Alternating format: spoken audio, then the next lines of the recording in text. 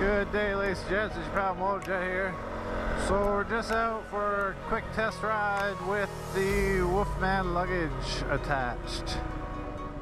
And so far, I mean, I've only come down a straightaway, but so far on the paved road, don't even know they're there. They're, they're luggage, they're attached, but uh, yeah, don't even feel it. So we're just gonna take a few turns here, see if uh, if it makes any difference. But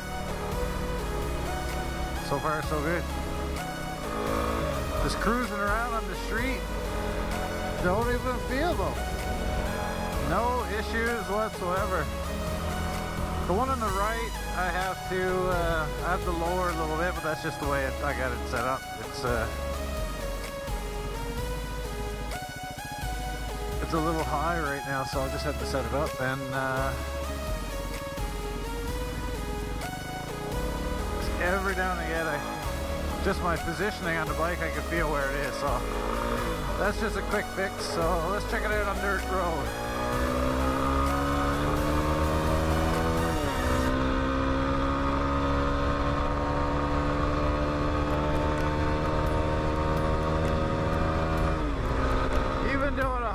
115 kilometers an hour, no feeling.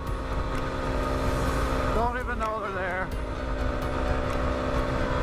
They're not affecting the bike at all. Yeah, don't even, on the dirt, on the straightaways, you don't even feel they're there.